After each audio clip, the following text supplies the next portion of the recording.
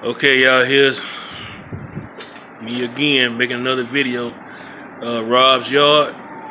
Got a three little projects to work on today. As you can see, two of these pots are deteriorating in this Texas heat.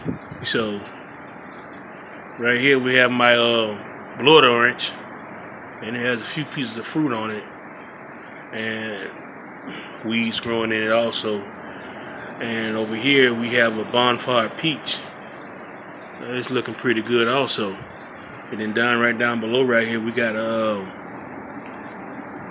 angel red pomegranate.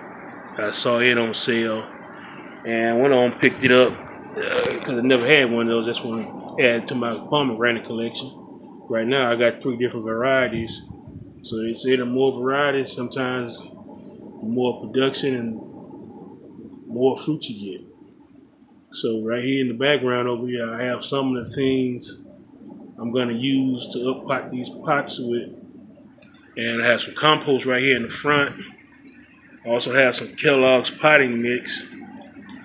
I have some worm castings back there also.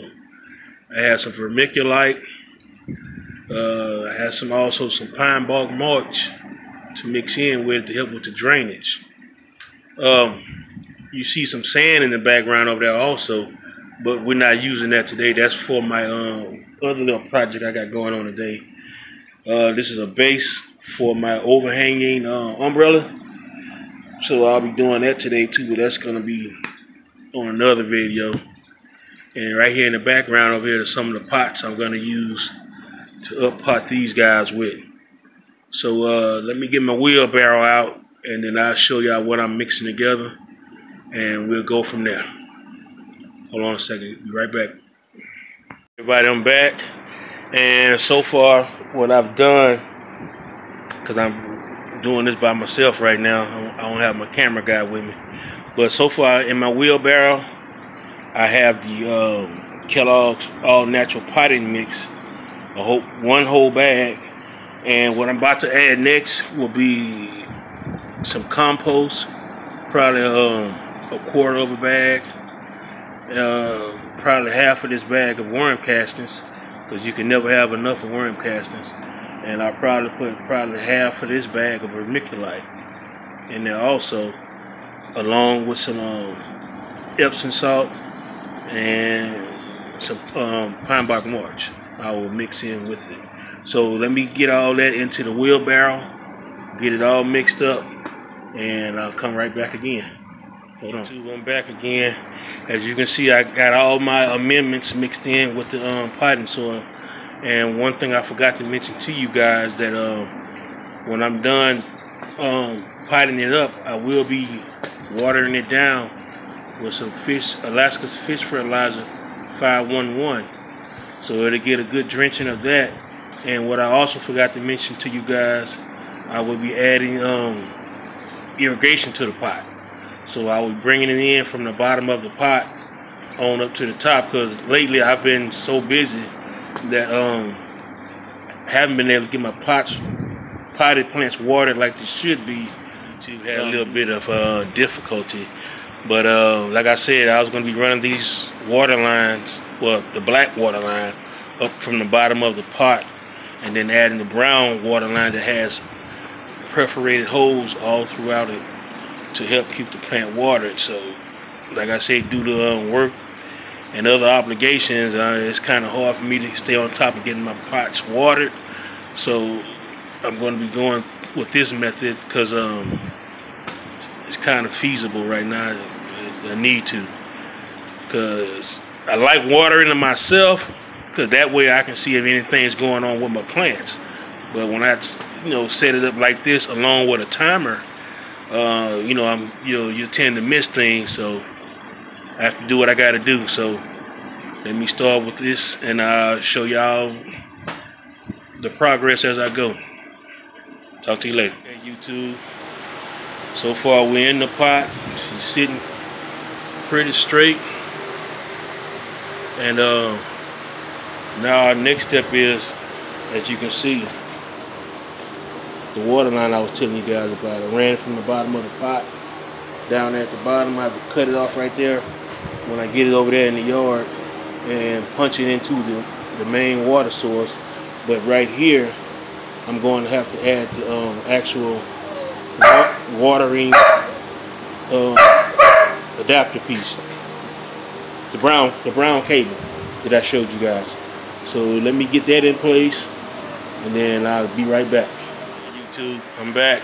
As you can see, I got the um, drip line in place, and what I'm going to do, I'm going to cover it up with mulch, but I'm not gonna cover it up until I, you know, do a test run on it, making sure everything's okay and it's dripping the way I want to. Because if I have to change anything, I can do it then versus having to dig all the mulch out around it. So when I get it over to where it's gonna be resting at, then I'll do another another um, progress report for you guys on it and let you see what happens. Okay, YouTube, I got the pots set in place and I connected the water lines. As you can see running down the back side of the fence.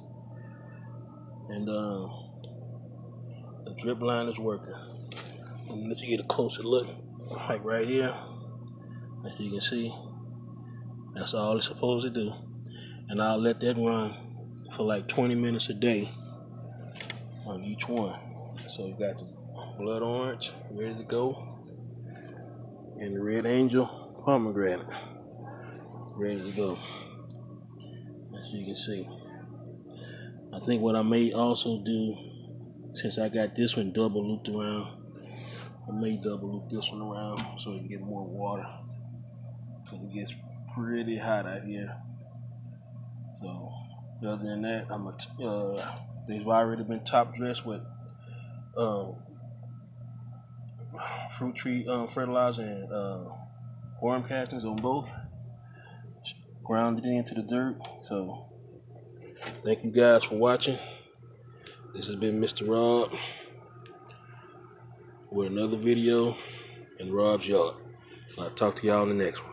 Talk to you later. Hey guys, like I said, once I got everything uh, in the pots, I was gonna um,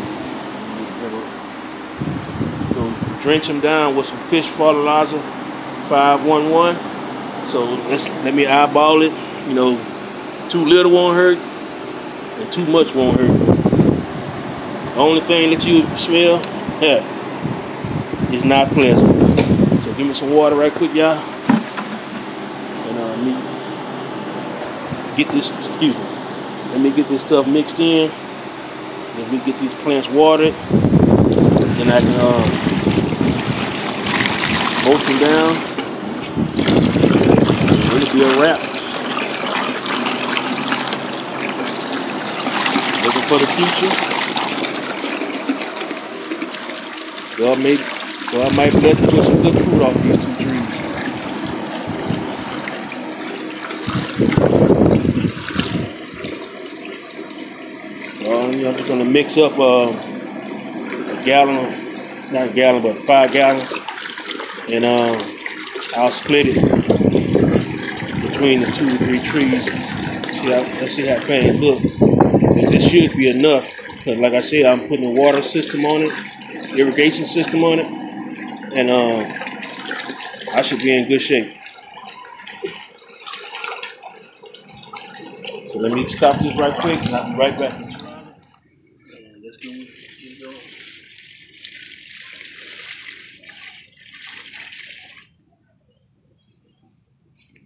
The other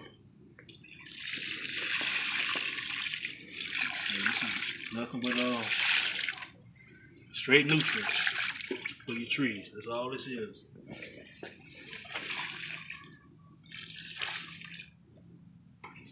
So what we're gonna do next, top dress it with some uh, mulch, and that's gonna be. This has been Rob's yard. See y'all on the next one.